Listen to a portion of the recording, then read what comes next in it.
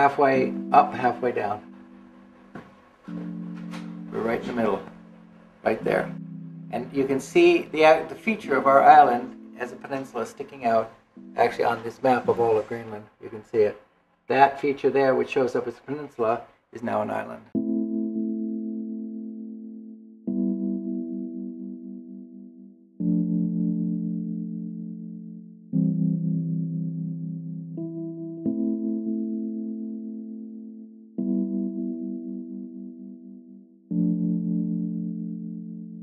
It's probably the world's newest island, and it certainly its existence as an island, separated from the mainland, certainly has something to do with climate change. And climate change is, of course, politically and in every other respect, extremely important now. It's one of the two or three main issues uh, on the world stage. And so we thought this as a very visual very graphic example of climate change, the best that exists in Greenland, maybe the best that exists in the world at the moment, should be documented.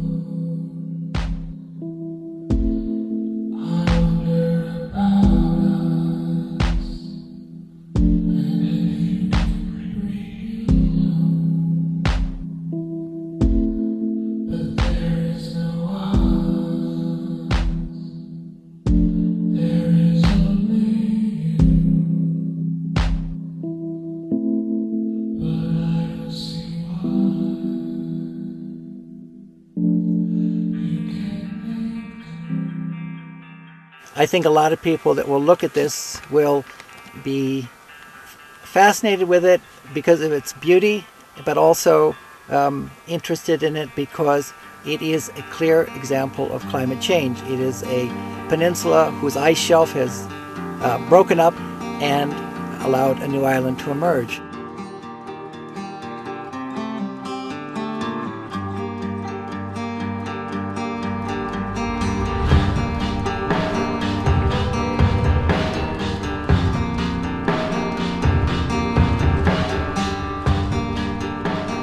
One of the things that struck me about the island is it was very graphic. It, it, was a beautifully graphic example of climate change and certainly there will be new islands that will emerge in Antarctica and in other places.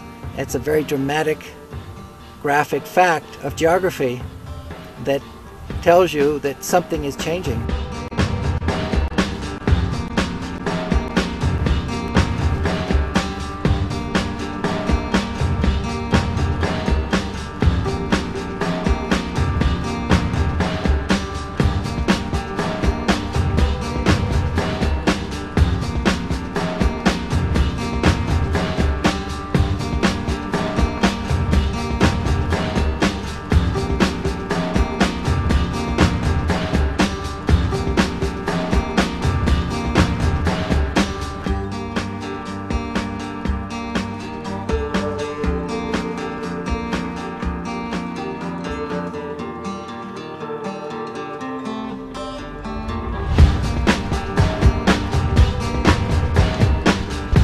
Not to overstate it, but it it certainly is um, it, it certainly is a significant example of what's happening in the world today.